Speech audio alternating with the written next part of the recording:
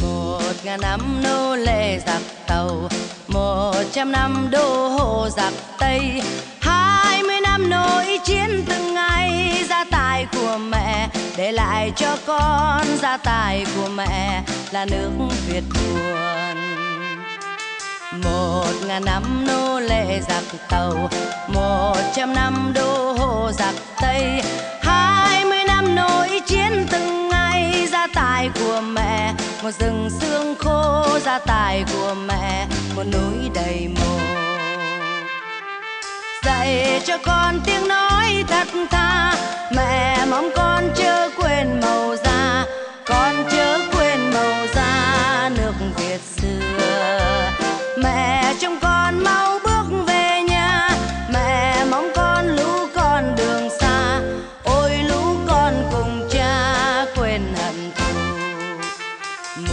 năm nô lệ giặc tàu, một trăm năm đô hộ giặc tây.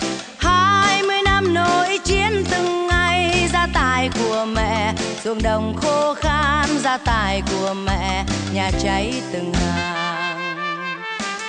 Một ngàn năm nô lệ giặc tàu, một trăm năm đô hộ giặc tây.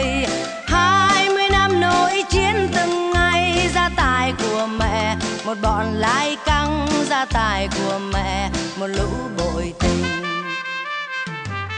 Dạy cho con tiếng nói thật tha, mẹ mong con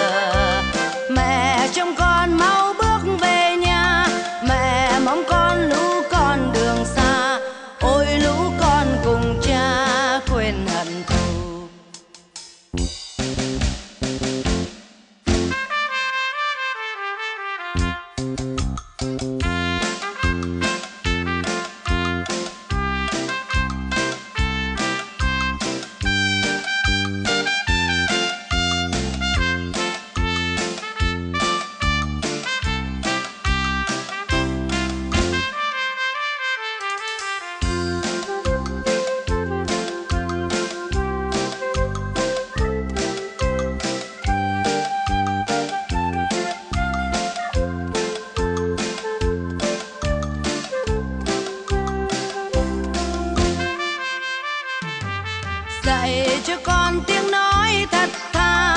Mẹ mong con chưa quên màu da, con chưa quên màu da nước việt xưa.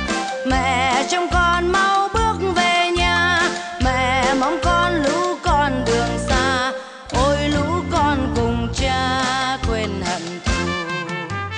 Một ngàn năm nô lệ giặc tàu, một trăm năm đô hộ giặc tây. Mẹ, ruộng đồng khô khan, gia tài của mẹ, nhà cháy từng hàng một ngàn năm nô lệ giặc tàu, một trăm năm đô hộ giặc tây. Hai mươi năm nỗi chiến từng ngày, gia tài của mẹ, một bọn lái căng, gia tài của mẹ, một lũ bội tình.